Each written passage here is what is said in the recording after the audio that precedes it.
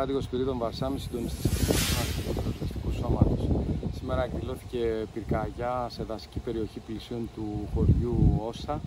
Ε, η πυρκαγιά ξεκίνησε από ένα χώρο με καλλιέργεια και επεκτάθηκε γρήγορα μέσα σε δασική βλάστηση. Άμεσα υπήρξε κινητοποίηση με έξι πυροσβεστικά οχήματα, δύο ομάδες πεζοπόρου, ενώ απογειώθηκαν και τα δύο πυροσβεστικά αεροσκάφη της Θεσσαλονίκης, τα CL415, τα οποία επιχείρησαν ε, ρήψη στο σημείο.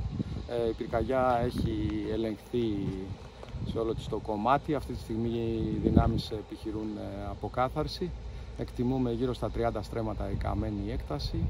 Στη δράμα από την πρώτη στιγμή, στο, μετά την ενημέρωση που είχαμε από την πυροσβεστική υπηρεσία, είμαι εγώ από την πρώτη στιγμή εδώ, σε, σε απόλυτη συνεννόηση και, και συνεργασία με το, με το πυροσβεστικό σώμα και το δήμαρχο, το δήμαρχό μας, το δήμαρχο Λαγκαδά και Ταχμαζίδη. Τα μηχανήματά μας στεθήκαν στη διάθεση της πυροσβεστικής, ένα τζιζιπίν στη διάθεση της πυροσβεστικής και ό,τι άλλο χρειαστεί για την, ε, και για την πορεία και την εξέλιξη της πυρκαγιάς.